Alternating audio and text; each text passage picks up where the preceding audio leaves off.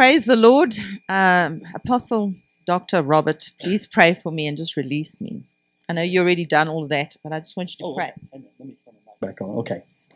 Amen. Stretch your hands toward her. Father, we just give release to this, this apostle of the Lord that you have sent into this place. We say, as a city and as a region and as an ecclesia, we receive her. Just stretch your hands and say, We receive. Lord, we receive. You said the, the, the word of the Lord says that if we receive the one that comes in the name of the Lord, then we'll receive what they're carrying in the blessing of us. So just say, We receive you. We release you. We, we take every limitation off. We release every we, we release every judging spirit, every critical spirit. We let it go and we open our spirits to receive the depth of what God has sent you to deliver. In Jesus' name. Amen. Amen. Thank you so much. It's wonderful to be with you. I'm going to just speak a little bit so you can tune into the accent. Uh, did you know I had one? Or is it you that has one? Okay. I'm very excited to be here. It, there's a, a lot of places I go to, you can only go to the um, to the limit of of the foundation that you're invited to speak from. And um, Apostle Robert really understands the government governmental issues, and that means we can just go for the throat. And I'm that kind of person. So um, I don't really, I'm not very fluffy. I know I look female and I'm not really very fluffy. So let me do the fluffy part quickly. I just want to tell you that I really enjoy Dr. Robert Henderson. I'm going to tell you why, Mary. Um, because he stood up and he said what is really going on. And he stood up in ICA and said, you know what? Um, there's a survey by who was it again?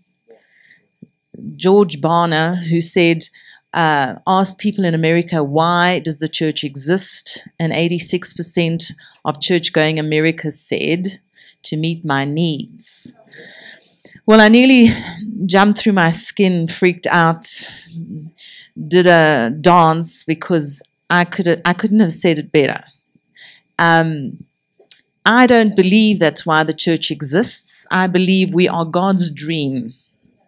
And he paid for his dream with his son's blood. And I actually want to make a statement to you. I don't care what your ministry is about. I don't care what you're here for. I want to tell you, I am only here to serve one thing, and it's what the blood of Jesus is speaking right now.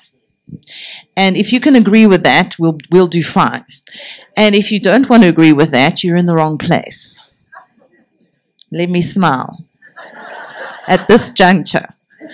But um, I liked Apostle Robert because he agreed with that kind of thing. He said, We are here to be the government of God on the earth.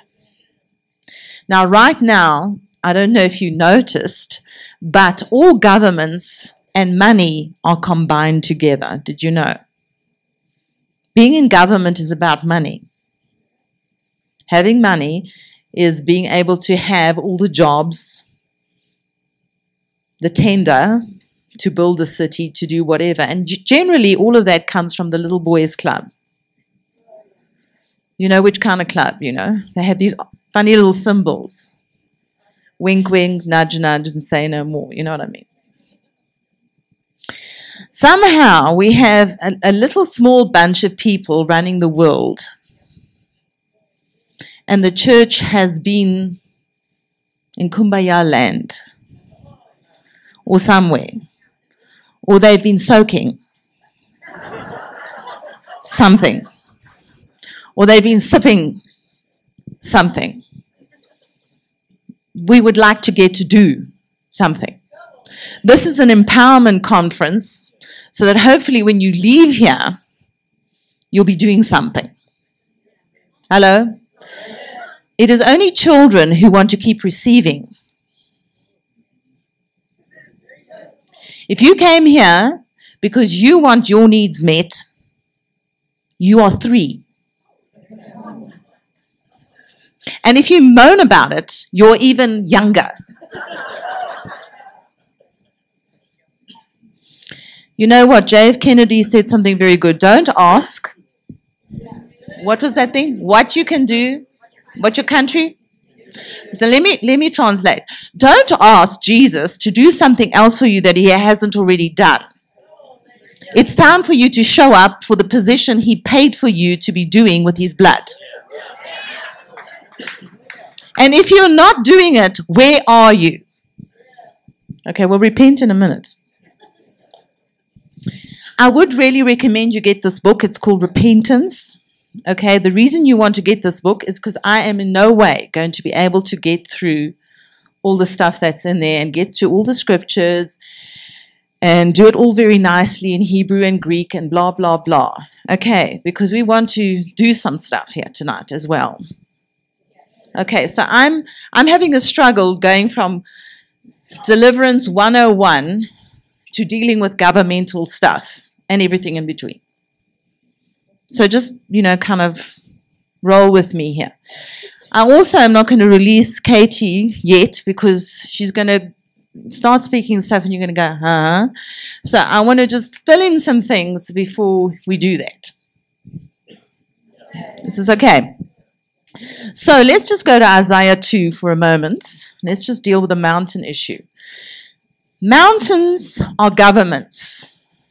If you're writing notes, put their mountain equals government or high place or governmental system, something like that. Okay, in Africa, when you go to visit a witch doctor, a shaman, okay?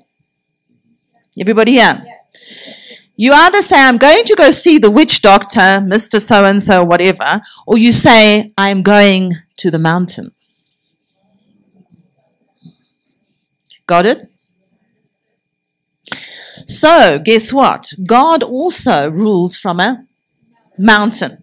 The mountain is a government, it is a structure, it is not your ministry.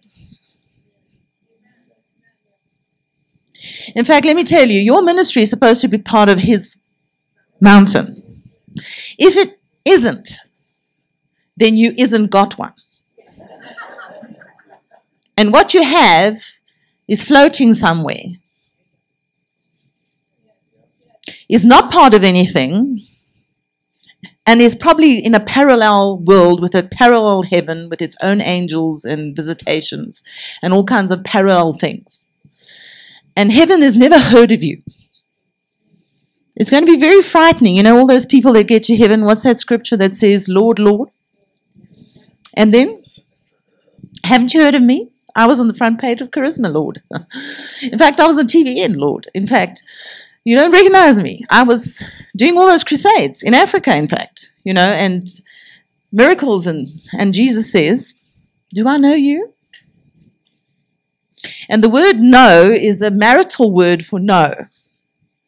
In other words, if I don't know you, then how did you produce what you produced? Because my seed is not in here and it's not my DNA. So who did you actually sleep with? That is what he's saying. Because everything God is talking about ends up being government and who you married to. Hello? Smile. We are all adults here. Hallelujah. Isaiah 2, are you there? Verse 2 Now it shall come to pass in the latter days. Are we in the latter days? Hello? Some of you don't know where you are. So if your neighbor didn't answer, tell them this means we now, you know, latter days. That the mountain of the Lord's house. Did you see that? The Lord's house, which we're supposed to be part of, is a what? A mountain or a government. So if you're part of the Lord's house, you have to be part of a, a government. Yes? Yes, okay. So somewhere, whatever house you're part of is supposed to fit into a mountain. Are we here yet? Okay. Shall be established on the top of the mountains and shall be exalted above the hills, and all nations shall flow to it. So, what are we supposed to have dominion over? Try all nations. Like all. Okay? Many people shall come and say, Come, let us go up to the mountain of the Lord. Okay? To the house of the God of Jacob. Jacob is the guy who wrestles. Like who? Paul wrestles with principalities and powers. Peter wrestles with. Are you, are you getting this? Jacob. House of the God of Jacob, the wrestler. Say yes. He will teach us his ways. We need to go up to do what? To learn something. The way he does it. My ways are not your ways. You better come up here to learn what my ways look like.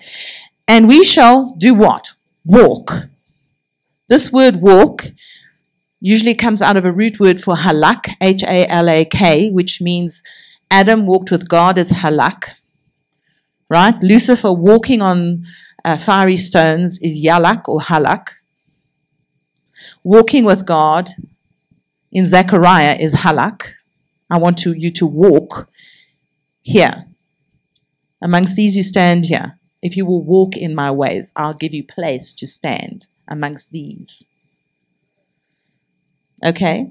Walking somehow is important to God. In fact, the early days, the Christians were called the way, or those who walked with God. Go back to rabbinical times, you walked with God. The people who were the most senior were the ones who walked with God on a daily basis. Adam walked with God every day. Hello?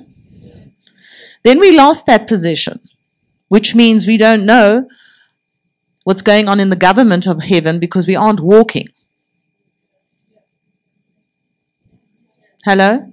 You've got to get back to walking to get reconnected in what's going on with the government.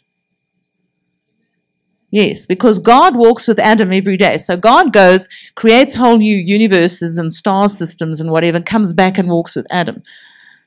So, Adam, how was your day? No, well, I named the giraffe today and the hippopotamus. Well, very good. What did you do, God? Well, you know, I made a few more new universes out there, and the universe expanded today by so many light years, and I'm very excited about this other solar system over there. How do you have a conversation with a God like that? Well, you, you better start studying to show yourself approved. Approved for what? A relationship to walk with God in government. Why? I just want to be blessed and saved. Right? Why can't we just be blessed and saved and get our needs met and go home? Because God didn't create us for that. God created us for what? What did He create us for? He actually thinks that we should look like Him. Isn't that crazy? God wants us to look like Him. He actually wants us to act like Him. He actually wants us to like mimic what He does. How's that? He wants us to co rule and reign with Him. Right? Hello? Yes.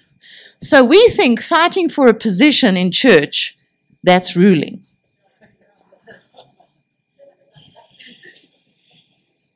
Listen, there are stars out there that you've never heard of, and scientists are not even going to discover yet. Okay? There are so many angels out there of different tribes. We don't even know what they look like yet. But God wants us, Jesus wants us to sit with Him in His throne and rule with Him. Now, how ridiculous is that? And then the most ridiculous part is I don't want you to be critical and judge one another because surely you have a court system amongst yourselves. to deal with things in, you know, amongst church people. Like, why do you have to take your brother to court?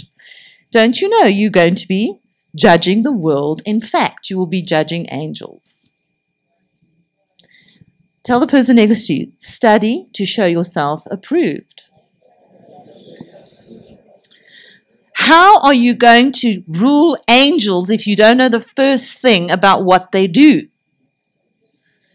But your job, don't you know, is to rule angels. How are we doing? So here's peanut gallery here. Okay. We hardly know what's going on. And there's these angels, thousand feet foot tall, being in the glory forever, and we are going to do what? Well, Lucifer's very upset about this. Yeah, very upset. So he's going to keep you confused forever. And he's going to tell you, listen, don't worry about anything. Just sit on your blessed assurance and get to heaven. You know, don't worry about anything. Don't push for anything. Don't try, don't fight me. Don't do anything significant. Just get to heaven. And most people are cooperating. Yeah, you know, that we believe this, this uh, deception. If you don't fight with him, he won't come looking for you. Really? Okay. So it says here, we're going to go to the mountain of the Lord. Why? To his house. Why? Because we need to learn something that we right now don't know. How are we doing? And we were going to walk. That's why you're going to bring your offering. You're going to literally walk to these baskets. Because Lucifer walked up and down on the fiery stones before God, trading. We're supposed to take his place. Hello? You're not sure? Nobody's sure. Hello? Are you here? We are supposed to take his place, says all the worship leaders, and bless you, worship leader. I'm going to hit this thing.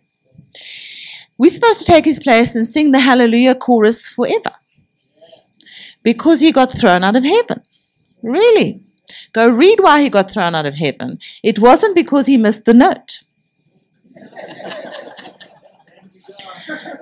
It was because he traded with corruption and violence. Say hello. Yes. So we have got to start walking in the place that he vacated. There's a place in the garden that he got us out of walking with God, and there's a place on the sea of glass that he got, got us out of. Well, if I was you, I decide I'm going to go walk exactly where he doesn't want me to walk, because that needs to be where I am. Are you hearing me? Government has to do with walking with God. Adam was in a place of governance and dominion. And you saw it because he walked every day with God. Then, of course, what happens is we have Lucifer looking at this little number and saying, Now listen, we've got to trip up this walk because this is not good for me. I have got to swap this walk to walking with me. So let's go have a conversation with Eve and confuse the whole issue. Okay? And the next thing you know, they are walked out, escorted out of a garden. Say yes. And the whole issue is Jesus comes because John prepares the way so that every mountain can be brought down. So that all the governments now that Lucifer has set up is now going to be made flat so they're walkable. This is the year 2011. The word, the, the number 11 in Hebrew is kaph, the word for K, K A P H. Okay? Where you get kavod, glory, kafar, to cover, and a number of other things. But the one thing that's very interesting with this kaph thing is the sole of the foot or the palm of the hand. This is 2011. 11 stands for if you can put the sole of your foot on its neck, you can take it with your hand. That's what 11 is for. Because you see, the sole of your foot has got this nice little arch thing there. Okay, in, in Hebrew, it's, it's, it's the name, it would be like sole of the hand, sole of the foot. It like they don't have a different one for the hand and the foot. It's the same kind of description. So if you can walk it, you take it. Walking is about dominion. It's about that arch of your foot going on the ground and everything that's on the ground. You're supposed to take its neck and not bless it, break it. It's a sign of authority to walk. Right? That's why every place on which your the sole of your foot takes, you can have that. So this is 2011. There's some things you need to take now because it's already long enough. Overdue for some of you and too long. Some of you are so despairing because you've got these prophetic words and you've had these things said and you've believed all this stuff and nothing has happened. Anybody there? Well, you know, sometimes you need a change of technology. Do you know what I'm saying? You need a change of understanding. You need some wisdom. You need something to shift. Because if it's working the way it was, no one would be frustrated. No one would be restless. Right? If everything was so gorgeous because Jesus did it all, Yes. Jesus did it all, didn't he? Yes, he did. He did everything he's going to do. And then what happened? We all sat in our blessed assurance. The issue is not about their blessed assurance, it's about the foot walking.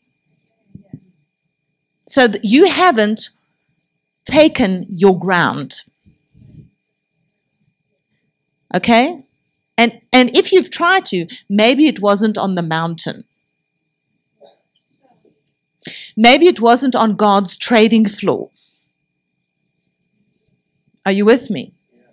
Maybe you've claimed something outside of the anointing. You see, there are kairos moments in God that you have to go and stand in and walk in and take it.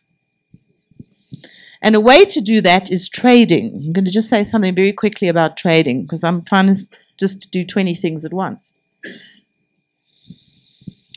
Do you remember Abraham comes to Melchizedek in Genesis 14? What happens?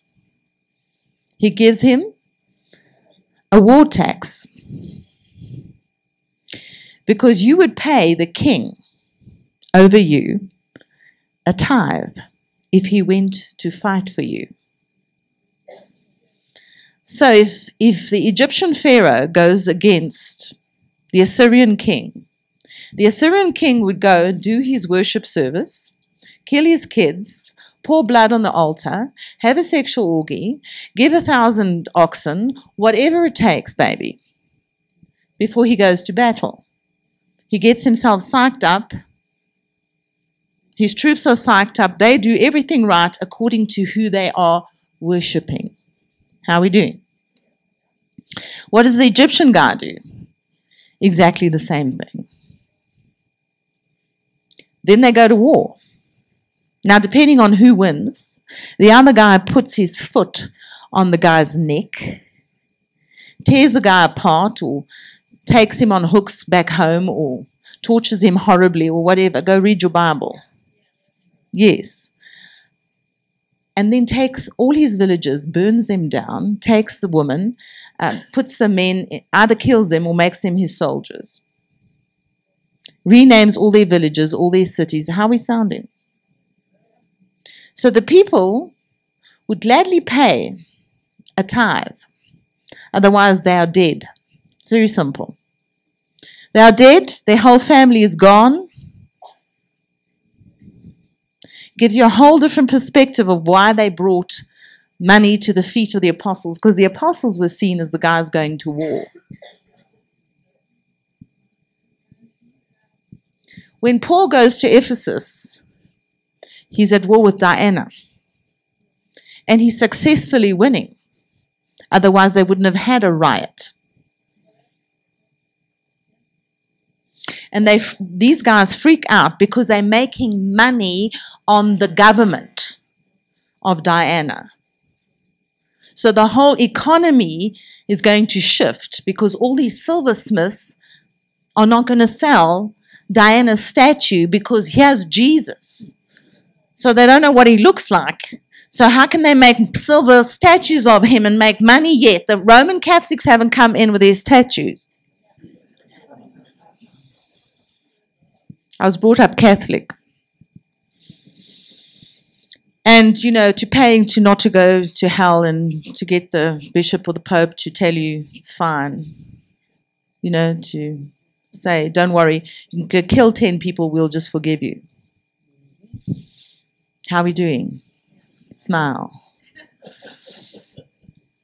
Anyway, the issue is government, religion, taxes, and economies are all very nicely married together.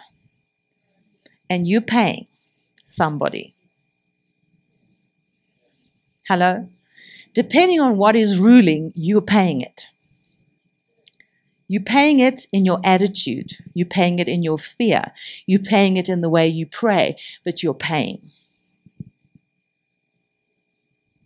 Okay. We know as the Church of Jesus Christ, we get to face Antichrist. Right? So are we ready?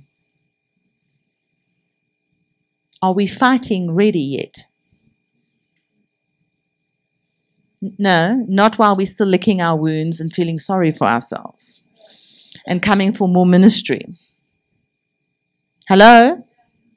Smile at me. When Abraham comes to Melchizedek, he's giving his tithe because he just won against five kings. It says in Hebrews 7 that Levi is also receiving tithes, but Levi is not born yet for four generations. So when you deal with money, you're affecting four generations at the least. When you trade with one dollar, your Levi for generations from you right now is being affected. And if you David, you affect a thousand generations.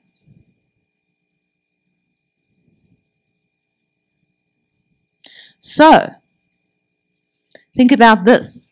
When you trade tonight, you're moving something in the future now.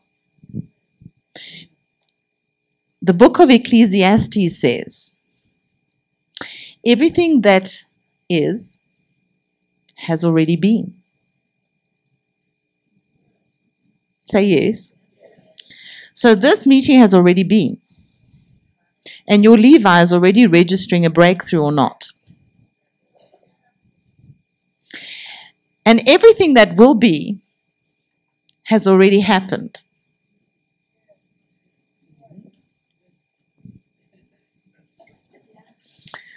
Okay, how are we doing? This is the Bible. Ecclesiastes 3, you know, after a time and a time and a time and all the times. It's, this is what it says. God is outside of time. When you step onto a trading floor, you're not in time anymore because you're already trading into the future. Why do you think they call it the futures? I wonder where they got it from. Smile. Some of you are having a hard time. I can just see. Just go. It's going to get worse.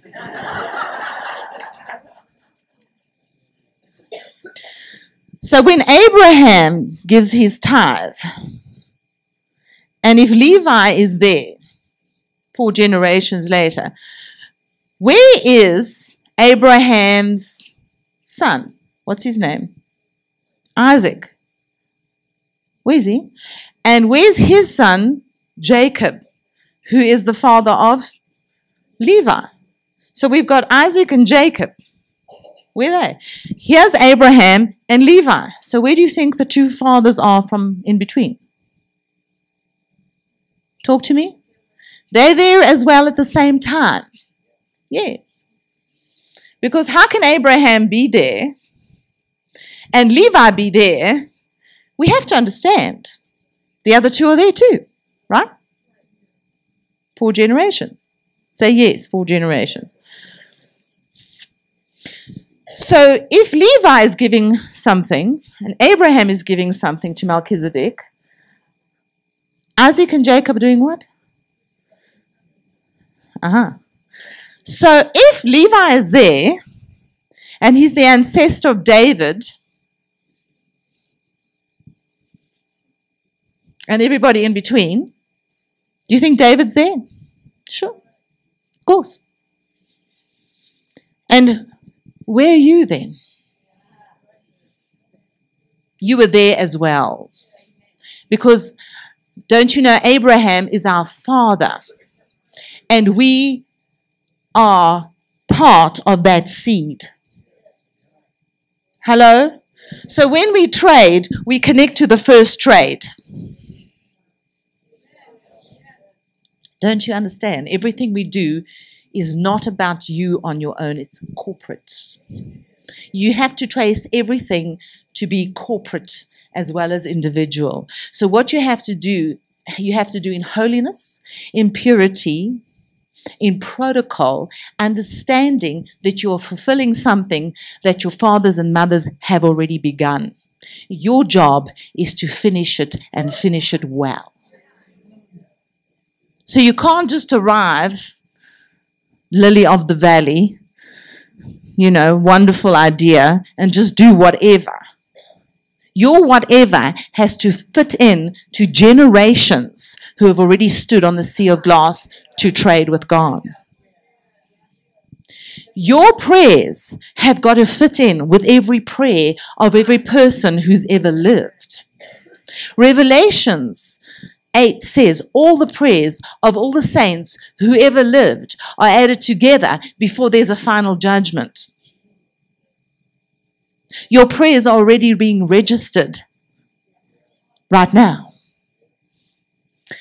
Your prayers have already happened, but it says in Ecclesiastes, you have now shown up to look like what already is, was, and will be.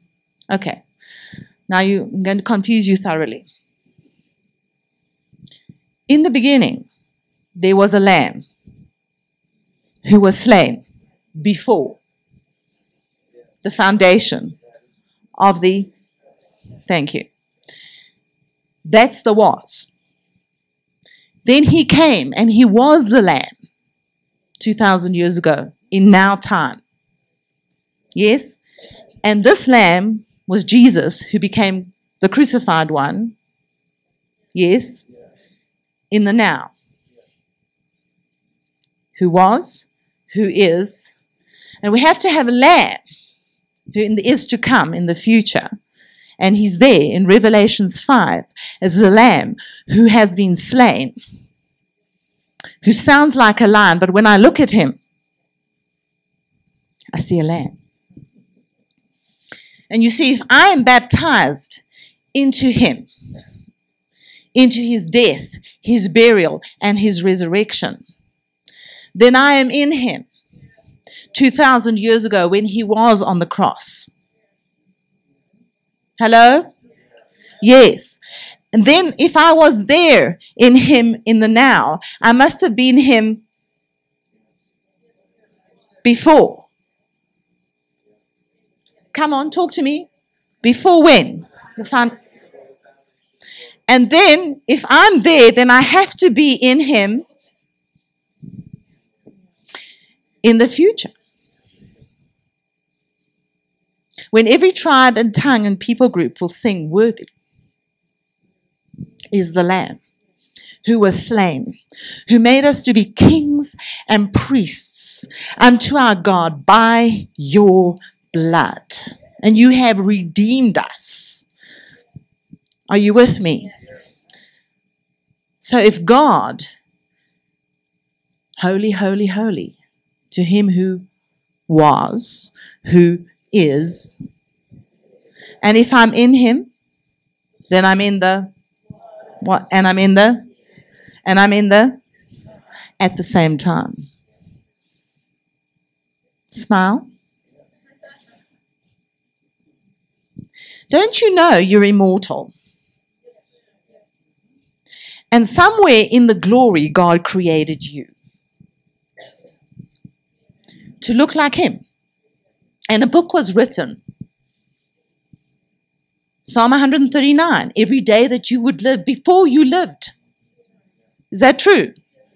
Are we sure? Some of you are not sure. Hello? Is God eternal? Is He your Father? When He breathed into Adam, did that breath arrive then or was it eternal?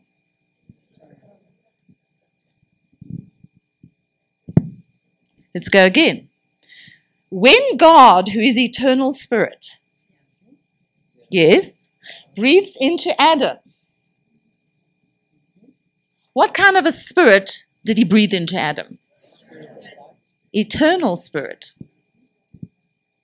Mm-hmm. So the dream of who you were was always in him eternally. Hello? How old are you really?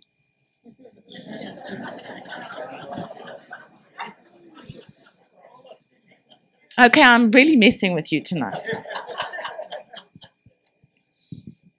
You didn't get born on your birthday. That was just you taking a breath of air when you came out of your mother's womb and saying hi to the world. Happy birthday to you. You are an eternal person. Because the spirit on the inside of you is how old?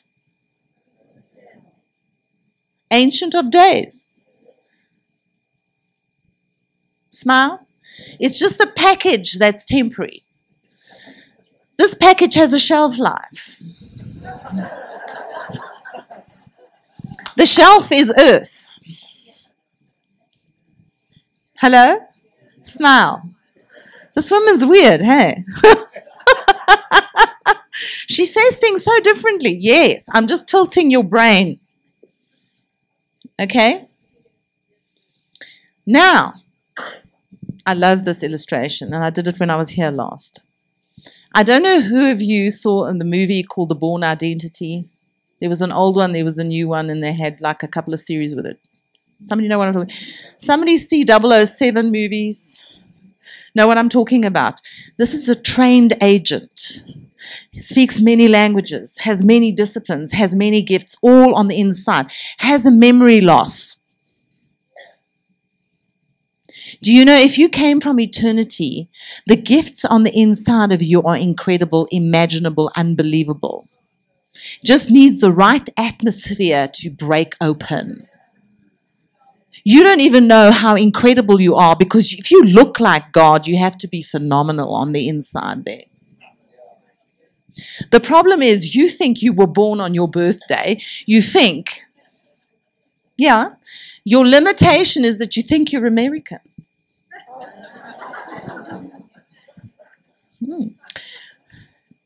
So you you learned what your teachers told you. Some of your teachers told you you were stupid and you would never amount to much, or whatever. Okay, I'm trying to break through that limitation and say, God who breathed life into you, there's no limitation in that.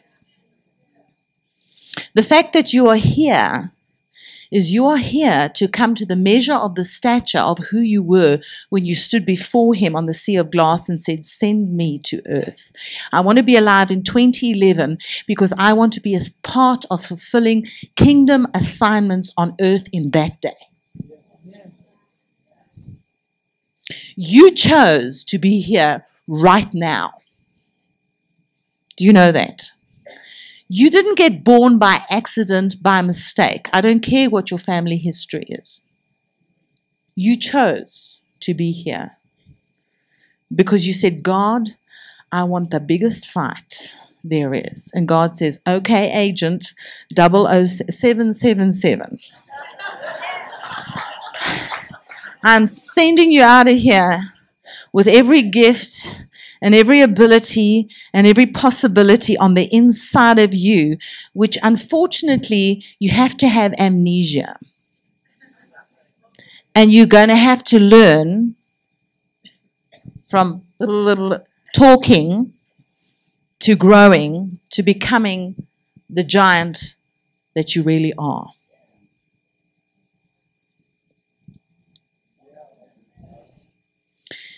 There's a picture of you in the glory.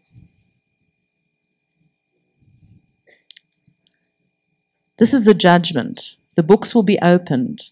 We will see the picture of who you have become through the trials and tribulations in this life compared to who you were in the beginning. I'm not worried about did you sin, didn't you sin, did you do it right, didn't you? We know all of that. This is the question. I was born in the glory of God. I was birthed in his thinking. I'm part of his dream. His son Jesus was so excited by me that he came to die for me to come into the fullness of what he called me for before the foundation of the earth. And we stood in the council of God and agreed together and everybody was there. You see, if Abraham is there, and Isaac and Jacob and Levi and everybody when we trade, don't you know that when we made the decision to come to earth, we were all there? And Peter and Paul said, I want to, we want to be there in the beginning when Jesus arrives. And God said, okay, go, go. And Elijah said, I want to be there. I want to deal with Jezebel. Okay, you're assigned. You can do that one. Hudson Taylor said, I want China. You said, give me Colorado Springs or something. I don't know what you said or where you're from. Hello? But you chose something and you agreed with God and you are here now breathing. And you better not go home until you have fulfilled your assignment and come to the measure of the stature of the fullness of Christ that you looked like before in Him. Because He came and He shed His blood to guarantee that regardless of the opposition, regardless of what your family looks like, regardless of the money, regardless of what you're going through, you can come to the measure of the stature of the fullness of Christ. Okay, some of you are processing. You thought, oh no, Jesus is going to do this for me. I'm going to walk up there. She's going to lay hands on me. I'm going to feel better. The song leader is going to sing a song. I'm going to get a goosebump on the goosebump.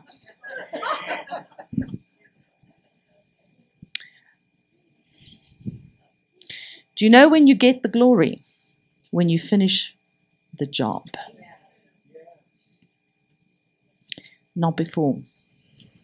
John 17 says, verse 4. This is Jesus speaking. Last will and testament before he gets crucified. He says, I have glorified you on the earth. I have finished the work which you have given me to do. And now, O Father, glorify me together with yourself with the glory which I had with you before the world was. The glory is coming when you do your job. If you aren't employed, no glory.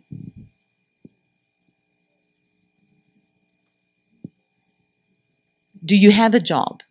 Yes, it's written in your scroll. Hello? And it's locked on the inside of you. And you've got to get out of amnesia and remember why you are here.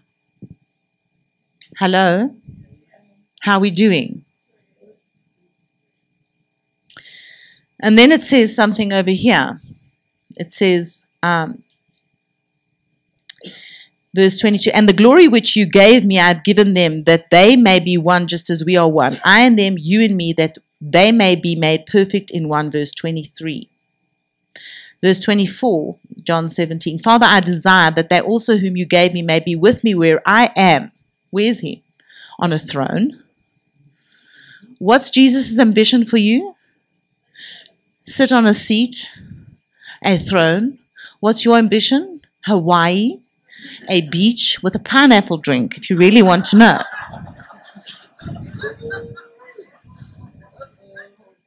I'm serious. I'm just telling you where the flesh is. That's where my flesh is. Hello. The spirit is w- willing and the flesh will be dragged. Whether it likes it or not, it's coming kicking and screaming, or anyhow, it's coming anyway. Okay. So it says, okay, that they may behold my glory, which you have given me. All right. I'm going to just say this to you one more time. We think glory is gold dust. We think glory is being touched till we shake. Now, let me just describe again to you what Jesus says is the glory. It's the glory that he's going to get after he's done what? Finished the work that he was given. In other words, the reason he was sent, what was written in his scroll, he has literally achieved. Why are you studying to show yourself approved? You must study what's in your scroll to go do it. So that the work that God gave you before you left heaven, yes, say yes, yes. like you know what I'm talking about. Okay? That's what you're interested in fulfilling. Yes? Amen. So some of the things that you're trying to do, you might need to just let go right now. Things that other people think you should be doing, things that your parents thought you should be doing, your teacher thought you should be doing, people in your church think you should be doing, your friends think you should be doing. If you don't come out 007, 777 agent from heaven, there's something not going to be completed. How are we doing? So let's confuse everybody, Lucifer says. They're going to walk with me. I need them in, co- in covenant with me. Right? I need these people dead, bleeding, and, and feeding my altars somewhere. In every African village, your name is on an altar. Not your name, but every African who's born has an altar of origination. Smile. Now, all the white people here who think there's no altars in your life, who's got British roots? All British roots? British roots, yes. Before you came to America, British roots, wave. You're all in Stonehenge. If you haven't taken your name off, it's still there. Smile. It's getting exciting here.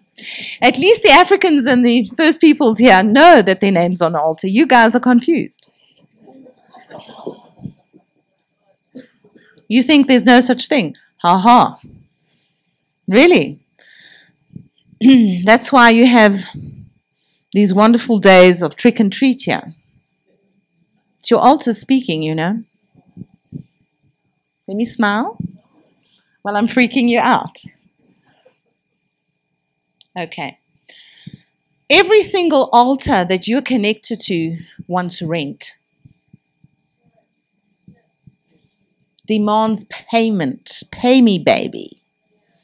And if all your ancestors promised things to the altars for harvest, for children, for money, for power, for whatever, right? Yes? When they die, Where do the principalities, the demons go to collect their rental from? To the next in line. So, that is why we do generational bloodline curses because we are tired of paying rent.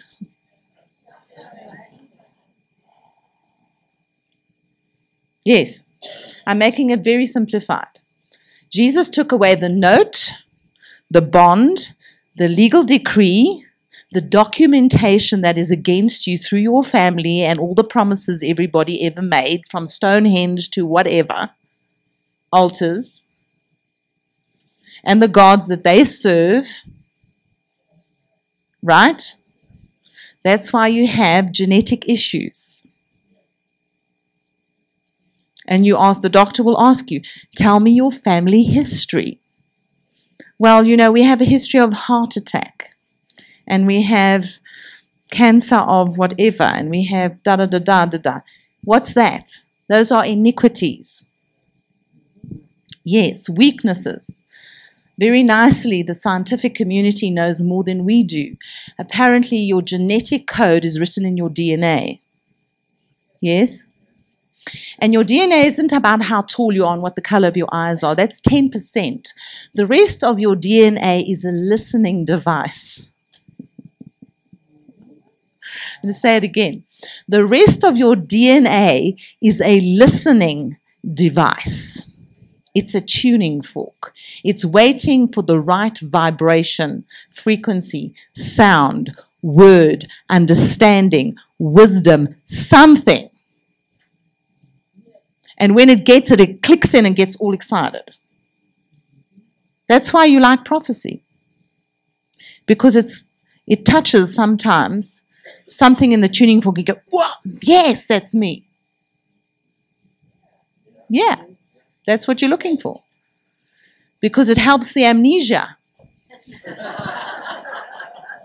it's a clue. Okay? How are we doing? So you're starting to get reconnected to the reason you're here. Are you with me? Okay. This is what they say in genetics that you have weaknesses and strengths in all your DNA. And guess what is the solution? You can switch off the bad genes and switch on the better genes by prayer and meditation, having less stress in your life and eating the right food. Translation if you get the right revelation, the right food, the right meat, you eating the right food, and then you get, begin to get into prayer and, and meditation, you'll be less stressed because you'll know what you're doing and where you're going. Hallelujah. And then you're going to turn off the bad genes and push in the right ones, and then suddenly you'll remember why you were why you are here. Isn't that fantastic?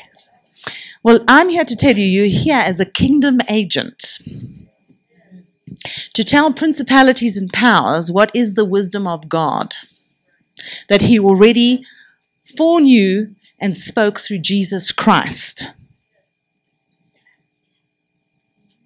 Hello? And you, the pipsqueak, the peanut gallery, are going to speak to thousands and millions of years old angels and judge them. That's quite a. How's that for a ministry? It's heavy, man. That's, that's a heavy governmental job. And Jesus wants you to have it. And you know what that glory looks like? Well, you can't see his face when he's in judgment because lightnings and thunderings are coming out of it. You can't see his eyes because it's like many diamonds with a fire behind it. You can't see his mouth because when he speaks, swords come out or, or fire comes out. The bottom half of his body is like shining brass. And his ambition for you is that you would look exactly like that. I don't know what your ambition is for yourself, but I promise you, whatever you think your ministry is, it's a whole lot less.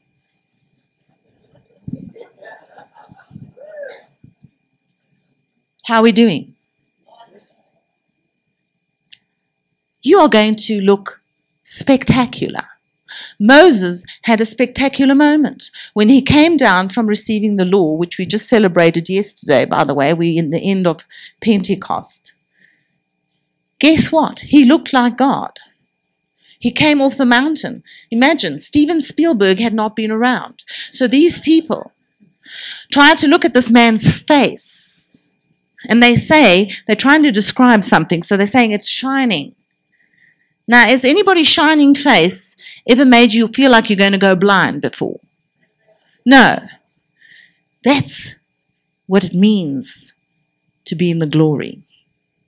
It's to look like who you were in Him over here. And so He packaged us in mud and gave us a shelf life and said, I'm sending you to explode darkness.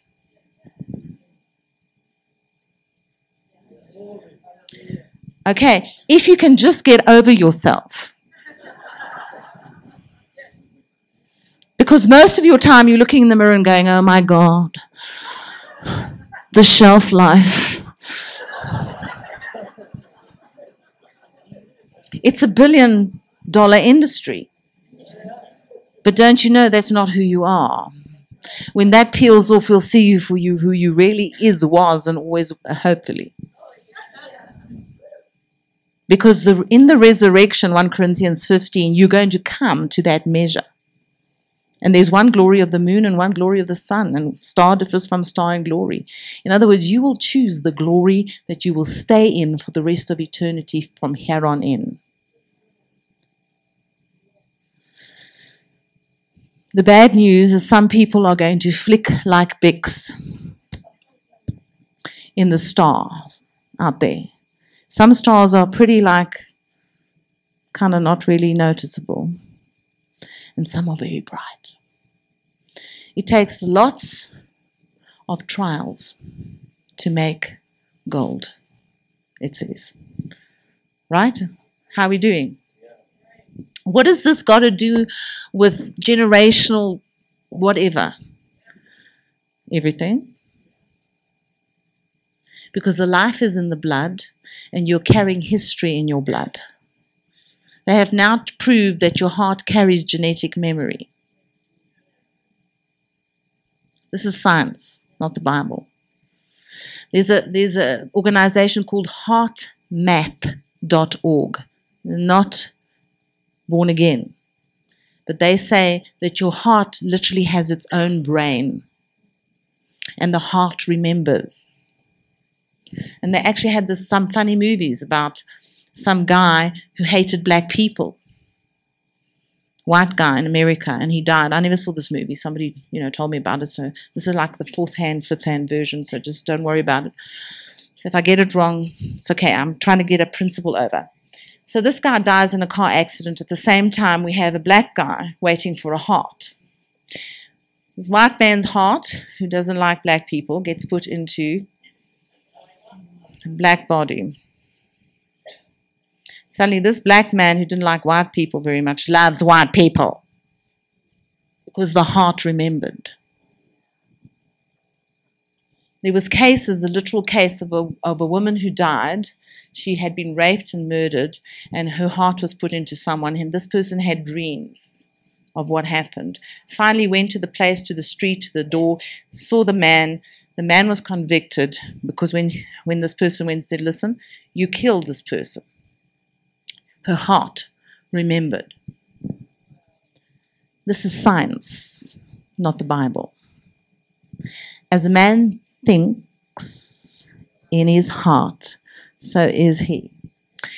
And so HeartMath have now proved that your heart, when you think, your heart frequency is measured up to eight foot around you.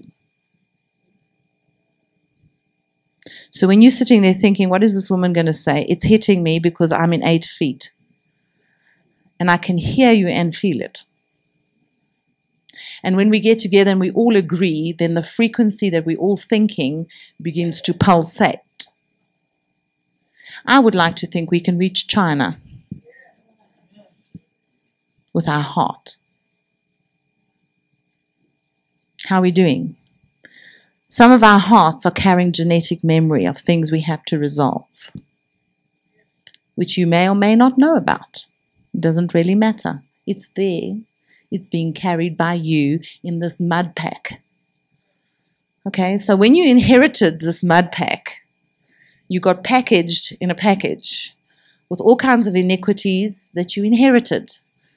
You know, with weaknesses on certain things, whether it was your eyes, or whatever. Okay?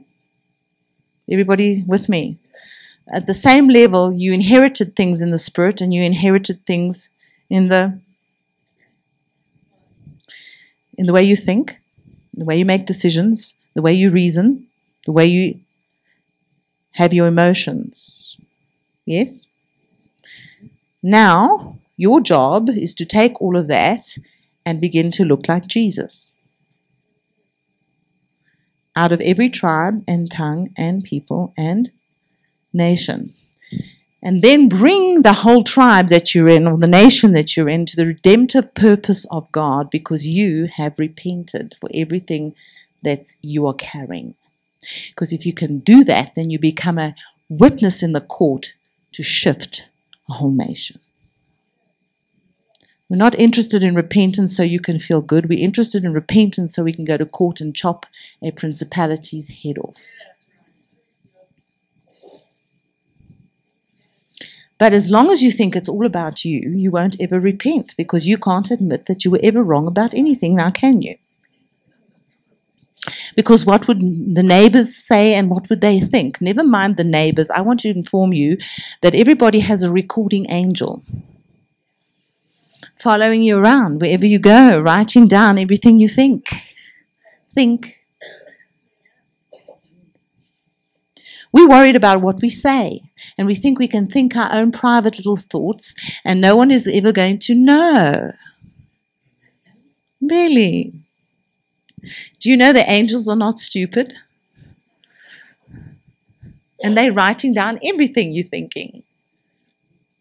So when you're going glory, hallelujah, and you look just right in this meeting and your heart is going, I wish I could slap that woman because seriously. The angel got glory, hallelujah, and I think I want to slap that woman.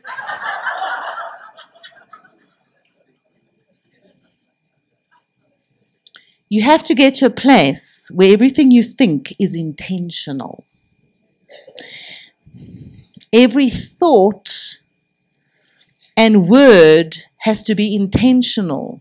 When God comes and deals with the people at Babel, he says every thought and intention of the heart of men was wicked continuously.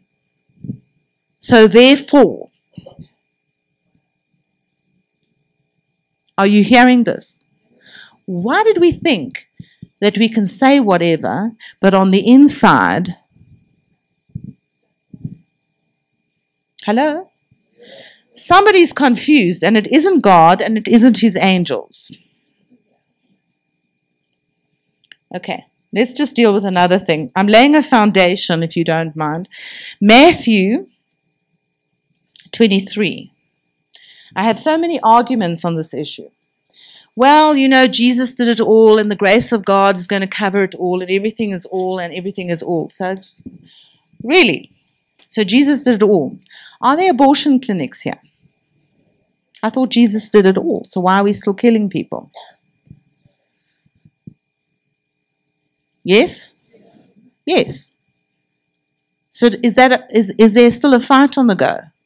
Yes. Are those abortions clinics current today?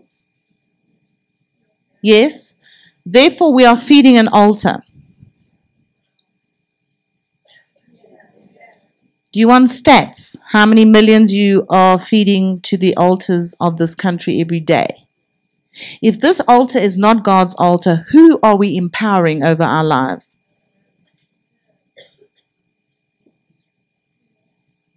Yes? Okay. So let's go to Matthew 23.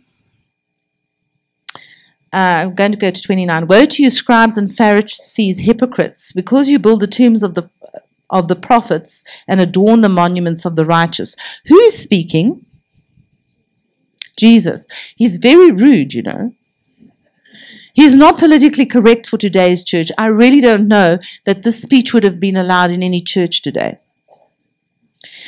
and say, if we had lived in the days of our fathers, we would not have been partakers with them in the blood of the prophets. You know, we wouldn't have done all the sins they did. yes. Therefore, you are witnesses against yourselves. Who's speaking? Jesus. What is he reading? He's reading their thoughts and the intentions of their hearts. Have they said this in front of him? No. He's reading back to them what they are saying in their hearts. And he's judging the fact that they're all around the prophets, wherever, you know, bringing offerings and gifts and doing whatever they're doing. And Jesus is saying, Excuse me, but you're the same people as those people that killed them. And they're going, No, no, no, it's not us. Okay, let's read this thing. Therefore, you are witnesses against yourselves that you are sons of those who murdered the prophets. Fill up then the measure of your father's guilt. Serpents, brood of vipers, how can you escape the condemnation of hell? Therefore, indeed, I send you prophets, wise men, and scribes. Some of them you will kill and crucify, and some of them you, you will scourge in your synagogues and persecute from city to city, that on you may come all the righteous blood shed on the earth. I told you, this is not politically correct. I mean, how can you tell this to human beings, Jesus? I thought you were a savior. Okay? From the blood of righteous Abel, from the first person who died, to the blood of Zechariah son of Berechiah, whom you murdered between the temple and the altar. Surely I say to you, all these things will come upon this generation. I just want to explain to you if we are heading to deal with some of the greatest wickedness that has ever been released on the planet, then every mantle of wickedness is gathering together.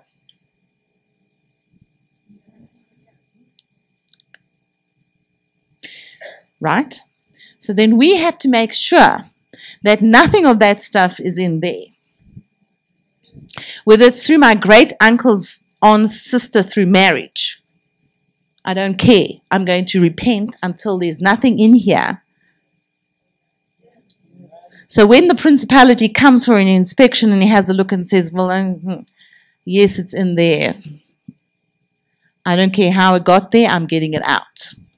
I don't care who got it there, I'm getting it out. I don't care how uh, the weakness came into my genetics in the spirit, I'm getting, I'm repenting it right out of there. Yes. Everybody here? Why? Because we have to.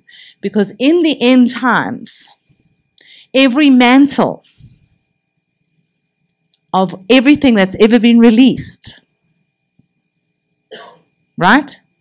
from Adam, Abraham, and everybody else is going to come into one mantle. Because there's going to be, it's not an even fight. Okay? But God is not going to let us stand in our single anointing and deal with what we're going to deal with. We're going to stand with every person in God's government, on God's trading floor, who's on God's side. So I'm going to have the judicial history of Moses behind me.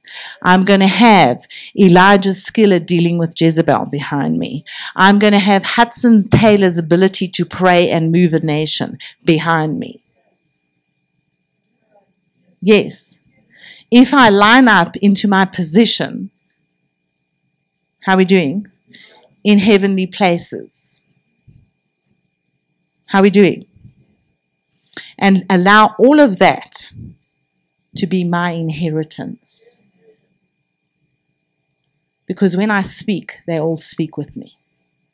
And when I say something, we will be one voice. How are we doing? But you have to hear what they're saying, which means you can't speak your words.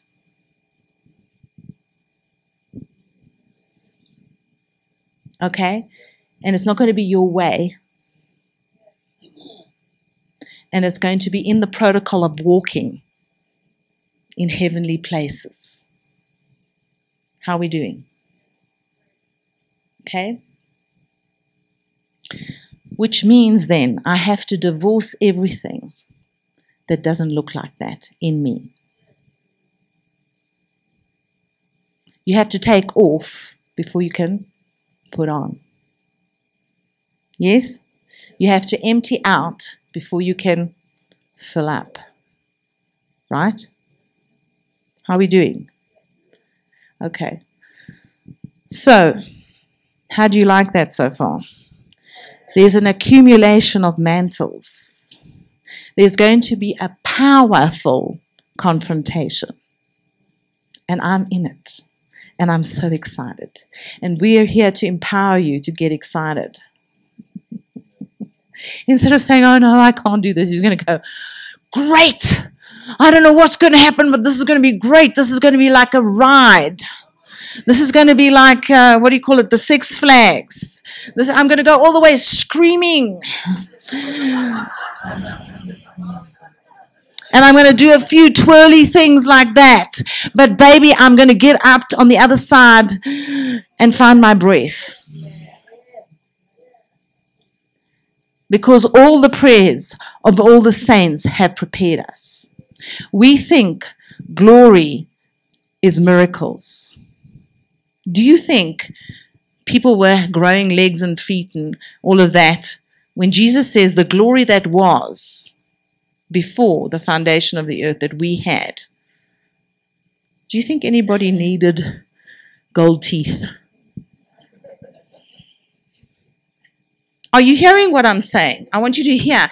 I don't, I don't uh, despise any of it.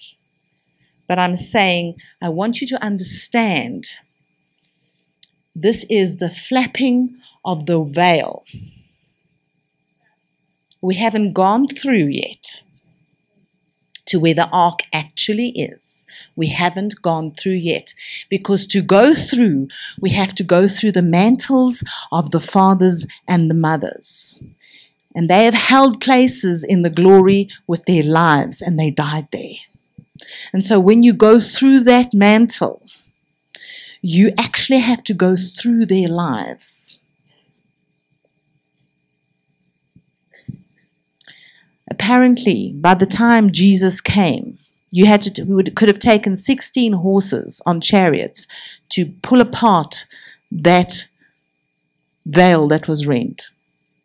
Because all the mantles, all the priests' garments of the priests that died, they put up as part of the veil. So this thing had grown like three foot deep. Okay. And when the high priest came to stand before the veil, some said he would hold the blood in the one hand, the golden altar in the other, if you look in the book of Hebrews, and he would be literally transported through that veil onto the other side. Some said he would walk through the veil and there were like narrow passages because narrow is the way that leads to life. Whichever way you want to look at it, people had put their mantles there, their whole lives of prayer and fasting and being in that temple. Picture. Picture the cloud of witnesses some of them have died. Some of them have died literally unto blood. They have laid down their mantle to hold a place in the glory so that we who are lost can be first. Because they're going to hold a place. Abraham right in the beginning, Moses right in the beginning, Elijah also near the beginning, and so on and so forth until we get to Azusa Street when we start to enter this thing, we're going to go through it all. We have access to the inheritance of it all. And when you go through, you're going through their literal lives. Because remember that the house is anointed before the person. Before Aaron and the priesthood are put into place, the house and the furniture is anointed.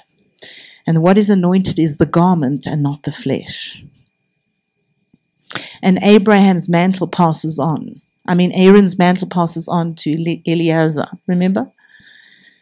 Apparently, the garment was never pulled in, extended, let out, made shorter, made taller, because the garment would just fit. Apparently, the same garment made for Aaron would fit the high priest whether there was fat, thin, tall, or short. Smile. How are we doing? It was the rest of the Levites, their garments, made up the curtain. So, the garment that we're about to wear for this end time war we're going in has been paid for in blood,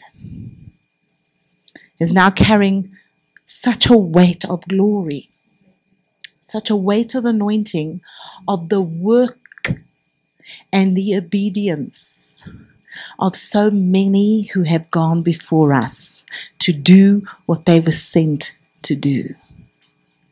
And then when we put it on for this latter day, we are clothed with everything that they've already accomplished. And we just have to finish the last leg and take the baton from those who have gone before.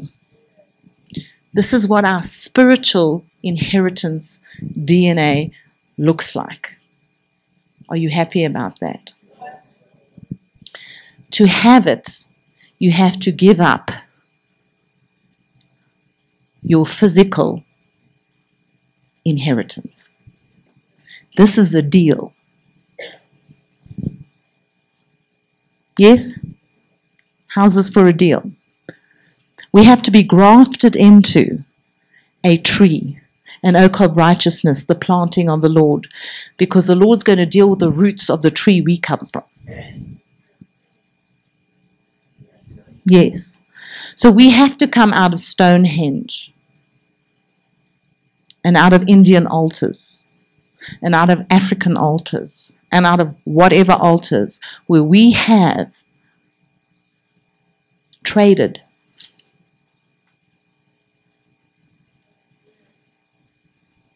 We have to give that up and say, I don't want this as my inheritance. I want my inheritance only through the blood of Calvary and the cross of Jesus. I only want that which is written in my book. I want nothing else. I want nothing more, and I want nothing less. Because if Jesus wrote this thing in his blood, it has to be the perfect plan. And I agreed with this somewhere in him in the beginning. And so, somewhere in your glorified, very intelligent state, because some of you are going, I could never have chosen my husband, my wife, my brother, my sister.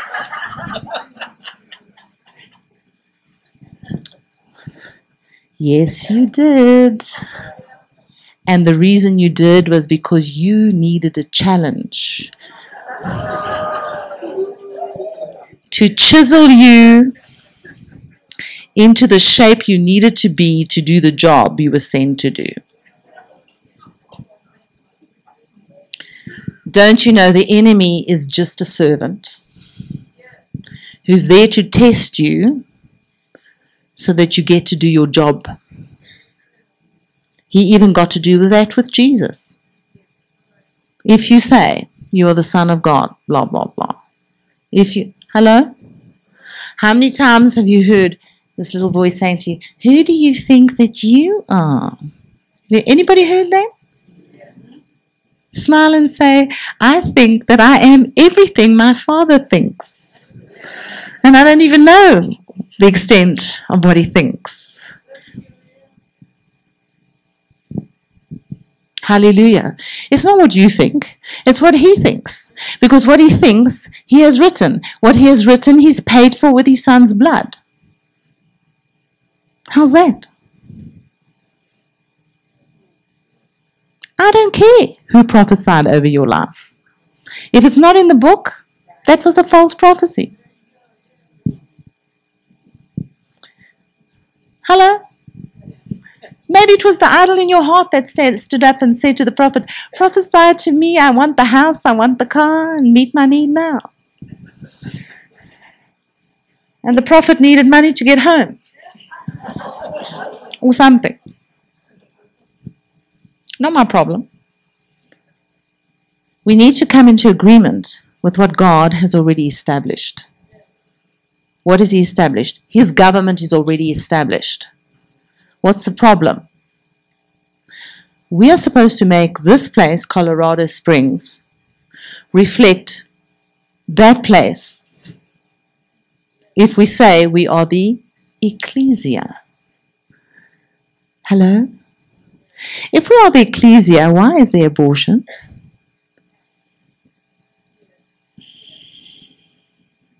Let me tell you Welsh revival. What happened to the police force? They came to church because there was nothing to do. Why? Because the government of God arrived. Hello? Do you see policemen having spare time in the city. Why is that? We don't have enough policemen in Africa, but we're very Christian. Rwanda is very Christian, you know. Was in like nearly 90% Christian. But when the rubber hit the road, the one tribe is going to kill the other tribe and in churches, by the way. Burn them down. Just happened in Kenya the other day. Smile. 70%, 80% Christian? Christian. What Christian?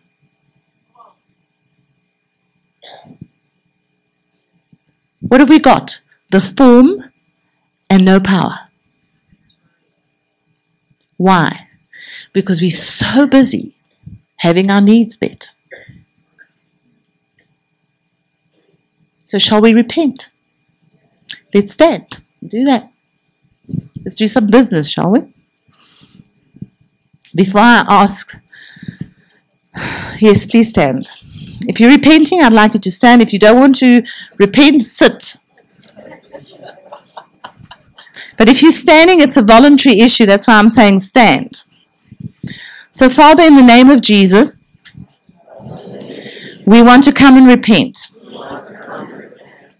for pure selfishness, for everything in the church being about me, for every ministry being about me and my needs, for every ambition of my heart being about myself. Lord, I am selfish. And worse than that, I'm not worshiping you. Lord, I want to confess that I don't really love your son. And I don't appreciate the blood of his sacrifice. I'm not passionate about what you are passionate about. I am not passionate about what the Father, Son, and Holy Spirit is passionate about. I have reserved the right to have my own lusts and my own passions. And today, Lord, I want to come to your mountain and say, Teach me your ways so that I can walk before you with integrity and begin to be passionate about the right things. Lord, I repent because everything around me reflects me. I decorate my world with my passion, and I repent for that. And Lord, I am not ready for the fight in these end days. Teach me, equip me, empower me. Father, don't let me abuse the fivefold ministry to meet my needs, but let them meet your needs for me to come into the stature of the measure of the fullness of Christ. I want to measure up to the glory I was in, in my Father in the beginning. And I don't want to come before you on Judgment Day. And I am not whole, spirit, soul, and body. I want to be presented before you, spirit, soul, and body, whole and holy, the way that I was sent from heaven in the first place. Now help me change the way I think and help me think deliberately.